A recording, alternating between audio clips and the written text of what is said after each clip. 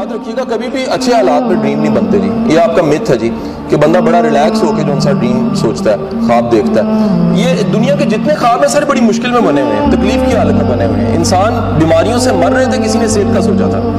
इंसान पैदल चल चल के थक जाते थे, किसी ने सवारी का सोचा था। इंसान इंसान की सेल्फ स्टीम कम थी। आप आज भी देखिए, जितने करके दिखाते तंदूर पे रोटियाँ लगाने वाला टॉप कर गया। आपको जितने भी अजीब अजीब मिलते हैं कि ये बच्चा इतने मुश्किल हालात में था, इसने करके दिखा दिया। इसने माइक्रोसॉफ्ट क्लियर कर दिया। ये मुश्किल घरों के तकलीफ़ वाले चैलेंज घरों के बच्चे आपको नज़र आते हैं। वजह क्या है? ख्वाब देखने के लिए थोड़ी सी तकलीफ़ चाहिए होती है पेन चाहिए होती है, जो मजबूर करती है कि आप ख्वाब देखें और ख्वाब